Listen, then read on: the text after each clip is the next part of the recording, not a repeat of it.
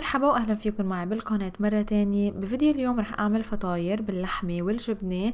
رح يكونوا من دون فرن والحلو إنه العجينة كتير سهلة ومكوناتها متوفرة والنتيجة بتطلع طرية وكتير كتير طيبة.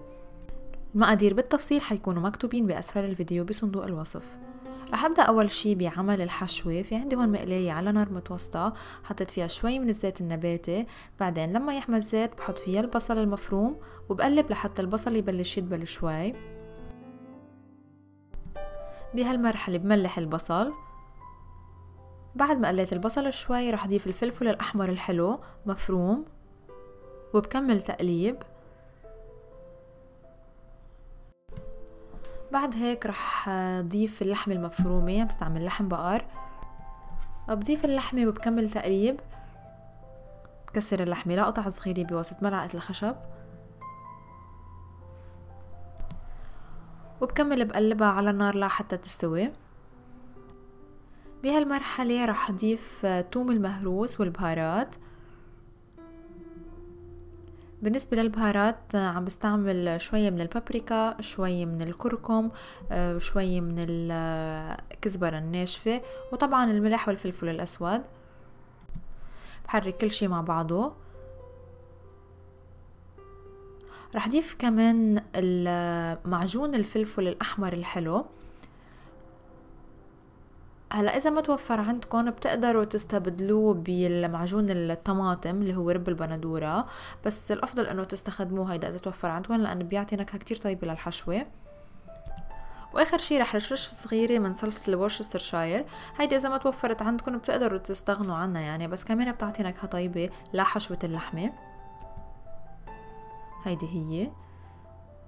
وخلص هلأ بقلب كل شي آه، على نار متوسطة وهيك بتكون الحشوة صارت عندي جاهزة. بكون كل شي استوى والبهارات تقلت منيح والريحة كتير كتير حلوة.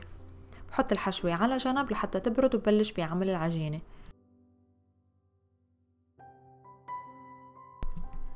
بالنسبة للعجينة عندي هون طحين متعدد الاستعمالات. ضفت له شوية من الملح شوية من السكر شوية من الخميرة.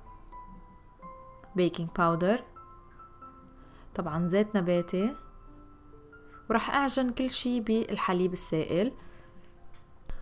هلأ طبعا بتقدروا تعجنوها على إيدكم. حركوها أول شي بملعقة الخشب بعدين عجنوا على إيدكم. أنا أول شي يعني قلت بدي أعملها على إيدي بس بعدين نقلت كل المكونات على العجانة وعجنتها لحتى صارت العجينة عندي طرية.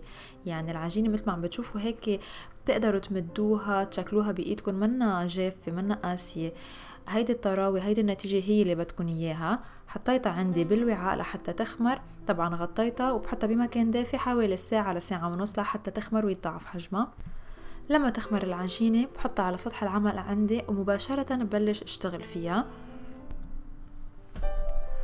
رح اخد قطعة أو كرة صغيرة ورح رقها لحتى تصير عندي دائرة مسطحة. طبعا الحجم أنتو بتتحكموا فيه. آه، أنا عملتها تقريبا حتكون يعني الفطيرة بحجم الكف. بتقدروا تصغروها هالشي بيرجع لكم من بعد ما فردتها للعجينة رح أوضع فيها حشوة اللحمة. بوضعها بس على جهة واحدة وبعدين بحط فوق الجبنة وبسكرها منيح على الأطراف لحتى ما تفتح. أنا وعم بقليها بالمقلاي. طبعا في عندي المقلاية مجهزيتها على النار حطيت فيها شوية من الزيت النباتي. بخليها تتحمر على أول جهة بعدين بقلبها على الجهة التانية لحتى تتحمر تاخد لون حلو وطبعا تستوي كليا. وهول هن الفطاير من بعد ما خلصتهم. طبعا حيكونوا كتير سخنين أول ما تخلصون تروحون ليبردوا. وهيدي هي النتيجة فطيرة كتير طرية الحشوة كتير كتير طيبة عن جد يعني كلها مشبعة بالنكهات. الجبنة مع اللحمة شي كتير روعة. فهذا هو الفيديو لليوم. إن شاء الله تكون عجبتكم الوصفة. بتمنى إنه تجربوها وتعجبكم. ما تنسوا تعملوا لايك لهذا الفيديو. تشتركوا بالقناة إذا بعدكم مش مشتركين وتشوفوا بقية الفيديوهات. وأنا إن شاء الله بشوفكم بفيديو تاني. مع ألف سلامة.